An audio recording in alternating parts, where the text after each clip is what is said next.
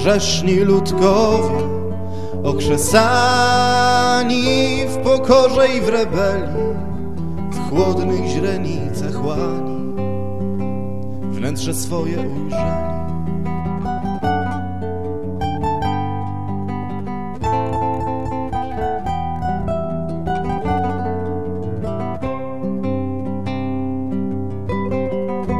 Zaryglowali się, zaparli, szyder swoich nie dotknie, skórę z jagnięcia zdarli, rysują kwiat na oknie.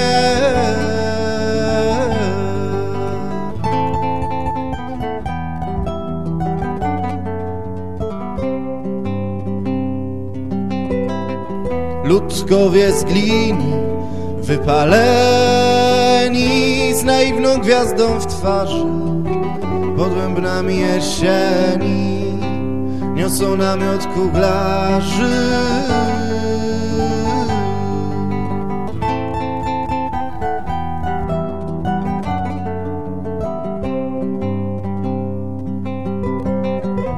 Jedno skrzydło namiotu uchyla się pies szczeka, resztę jak krople potu pochłania las i rzeka.